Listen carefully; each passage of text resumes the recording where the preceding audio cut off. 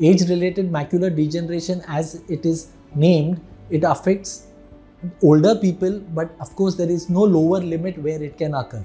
There are two types of age-related macular degenerations. One of them is called the dry degeneration and the second is called the wet degeneration.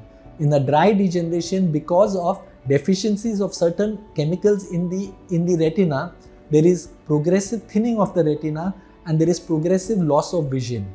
As of now, there is no effective treatment for dry degeneration of the retina.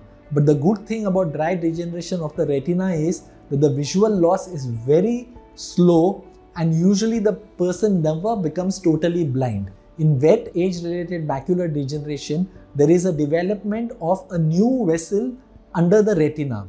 This new vessel causes swelling because of leakage and the second reason for decreased vision is that it can suddenly bleed. When it suddenly bleeds, the patient suddenly loses vision and that usually occurs in the morning or it can occur at any time.